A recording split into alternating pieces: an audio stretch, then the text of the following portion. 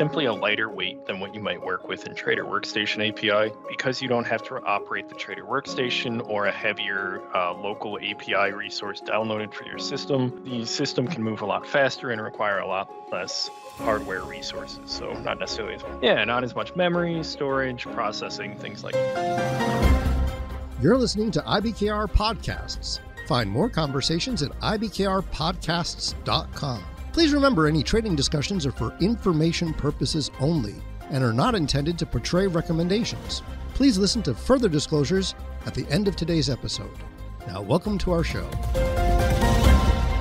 Hello, everybody, and welcome to IBKR podcast. Today, we're going to be talking to Interactive Brokers Andrew Wise, who is the U.S. API Support Supervisor. And we're going to talk about, as you know, at Interactive Brokers, we have the TWS API, and we also have something called the REST API. So we're going to focus on that a bit today, and we're going to this will be one of several podcasts devoted to more of a tech centric focus on the APIs. All right, so to start off, Andrew, what is the REST API? So, a REST API is a more general term for any application programming interface that conforms to the constraints of the REST architecture. The REST architecture is a development from the early aughts, which is kind of like the standard web protocol, so that way websites can communicate back and forth to one another. And Interactive Brokers REST Web API specifically allows you to use a lot of the functionality that you might find or in the client portal directly in the form of an API. So, in other words, you're using the browser, you're developing mm-hmm. within the browser, and you can call the API functions to access data, similar to how Client Portal displays it, but build your own interface. Exactly. And you can create your own interface or you could even use the API entirely in a automated sense. So that way you can make all of these calls happening without ever having to physically look at the data yourself. You would be able to program some kind of bot or trading API, trading AI rather, so that way it could handle all of that data coming through and make trades on your behalf. So, do you use a particular programming language with the REST API, or is it agnostic, or how does that go? Yeah, so that's sort of the beauty of a REST API is that because it does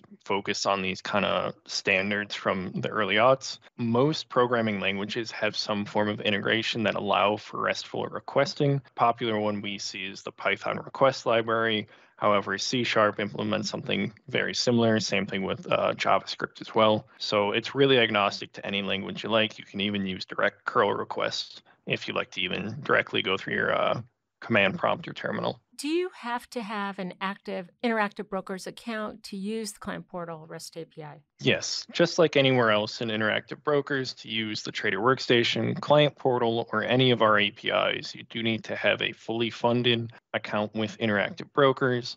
Uh, we also do require that Pro accounts are in use. We do not support the light accounts or those US uh, commission free trading accounts and interactive brokers. So IBKR Pro and a funded account are required to begin trading with the REST API. Okay, good. Here's another question Should you use the gateway or what is a gateway anyway? For most of our customers that use the Client Portal API, you're going to be using something called the uh, Client Portal Gateway. And this is just a means of authentication it's a Java client that runs locally that's typically ran in the background. And what that does is just make sure it verifies that all requests going out are going to be sent from you as the user without having to worry about any potential alternative authentication, like no API keys or anything like that are in use. However, some clients might find that they might need a more autonomous solution and for our institutional clients, we support something called OAuth, which they can use to obtain access token, token secret, and they can do all of the web requests through an OAuth 1.0a authentication method. So if I have that gateway up and running, do I still need mm-hmm. to have client portal or TWS up and running, or is that suitable? Oh, no, not at all. Once you have the client portal gateway running, you don't need to have anything else open. And in fact, we actually encourage you not to uh, just because of the competing market data sessions. So in the client portal web API, we actually have a two-tiered authentication structure. And what that means is if you log in with the client portal initially, you're going to be able to query things like portfolio endpoints. So that way you can look at your balance and everything. But you won't actually be able to see market data or trade but that also allows you to continue trading in other platforms. However, if at any point you would like to trade and, you know, review market data in the API, you would go through the second brokerage session level authentication uh, to allow you to trade there. And that is the OAuth or not? Uh, not quite. We have something called the iServer endpoints, and users might be familiar with the iServer forward slash auth forward slash SSODH forward slash init endpoint. And what that endpoint allows you to do is it initializes the brokerage session, which is separate from the standard login procedure you would use for the gateway. Ah, okay. And that's because you're going to be trading and using market data and so forth. Exactly. Okay, good.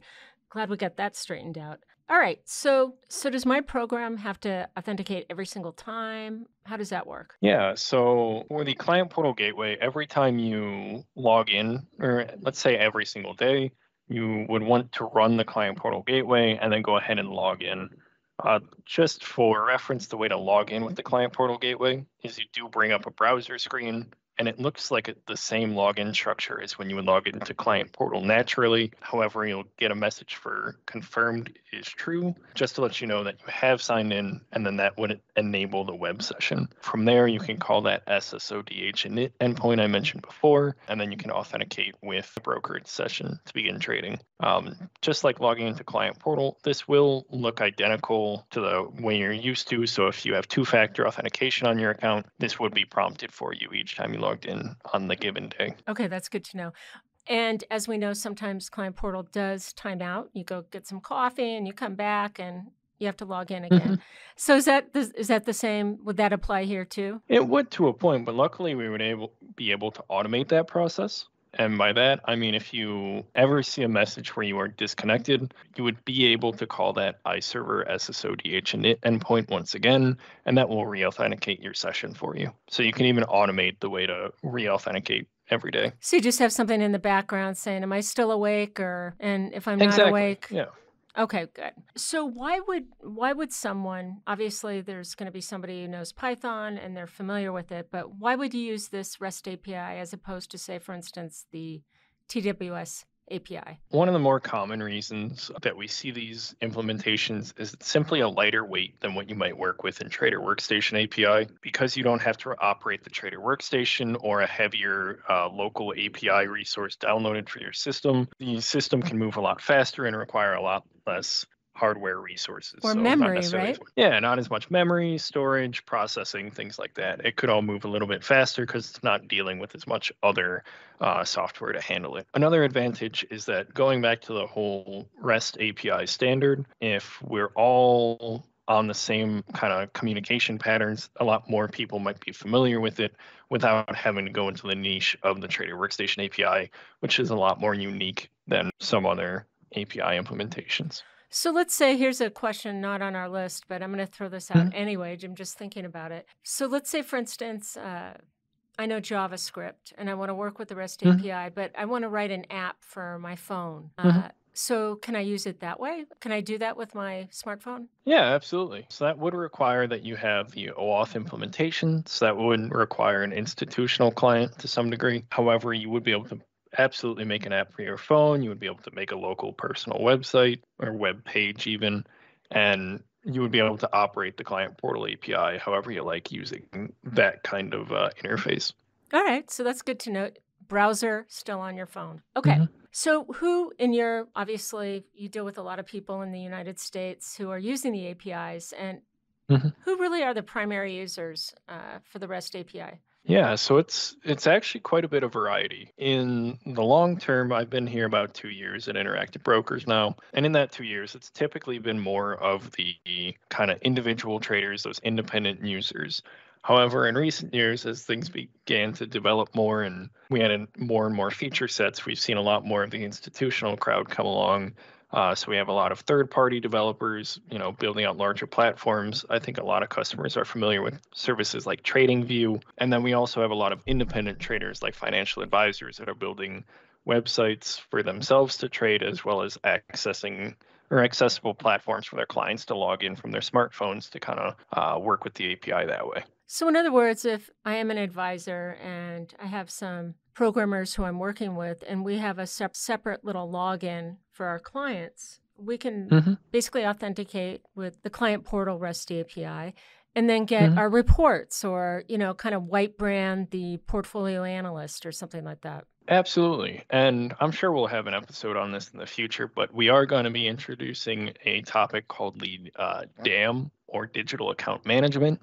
And that is a platform that a lot of advisors will be using to onboard new clients, uh, kind of help with funds and banking for their clients, and give a better experience to those white branded interfaces uh, that somebody might use for you know monitoring portfolio data as an end user. And that's in development, or is it already available? That's already available, and uh, Interactive Brokers right now is actually working to make that more and more popular. We're trying to get the word out there for more and more advisors and third parties to kind of implement that structure. Okay, that sounds pretty exciting. All right. So, last and final question is let's say I'm a developer and I want to start working with this, mm-hmm. and I have an account that's funded and it is a pro account. Can I use my paper trading account to like set up some sort of sandbox for myself? Oh, absolutely. All of our APIs are fully integrated with both live and paper trading account. So if you do have a paper trading account that you would like to test with, you are more than welcome to do so. The only limitation, once again, would be that your live account is created, funded,